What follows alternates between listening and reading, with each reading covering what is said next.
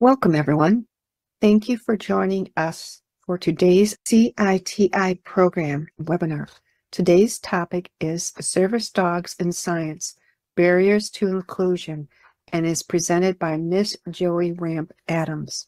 Joey Ramp Adams is a biocognitive neuroscientist and founder of disability access firm Empowered Ability Consulting Incorporated, which advocates for disabled students and STEM industry professionals. Joey has been instrumental in enacting changes in the American Society of Microbiology and the American Chemical Society's laboratory safety guidelines to include inclusive guidelines for service dog handlers.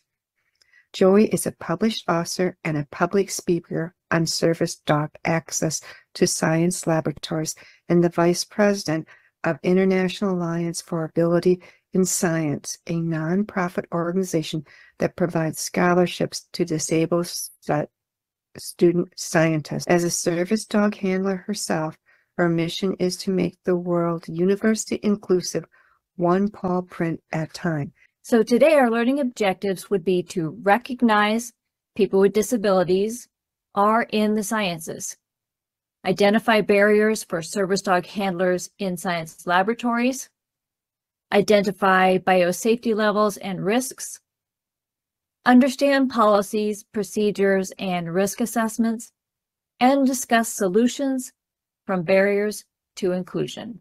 And the proportion of PhD recipients with disabilities in STEM fields is only 6.9%.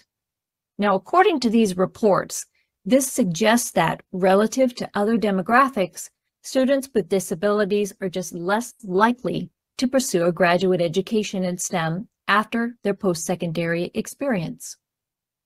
Now, among the total 25 million employed scientists and engineers, less than 10% of them are people with disabilities.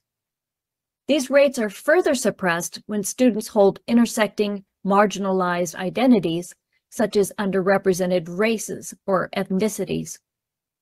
Students with disabilities may just step out of STEM majors due to various barriers. Now, these barriers include a lack of STEM role models. Now, the number one reason, according to this report, is that disabled students feel unsupported by STEM faculty and administrators. Two of the biggest barriers for people with disabilities who rely on a service dog for their health and independence are service dog policies and guidelines with respect to laboratory coursework are either non-existent, unnecessarily complex, or very ambiguous. Now, this leaves a lot of room to the subjective nature of each university or faculty member. One of the largest hurdles for service dog handlers in science is the lack of specific, inclusive, and informed guidelines within these existing laws and policies, or just a lack of policy altogether, which we're going to dive into a little bit deeper in this webinar. And although a service dog is considered medical equipment and protected under federal law for public access, many times the presence of the service dog itself will present the barrier for the handler based on implicit bias or an uninformed judgment by a lab manager or an administrator. And this is Basil. Basil and her handler worked very successfully in a BSL-3 lab environment, so it can be done. A service dog and handler can currently be safely accommodated in some BSL-3 environments. We have successfully assisted this student with a service dog maneuver the BSL-3 lab based on risk assessment.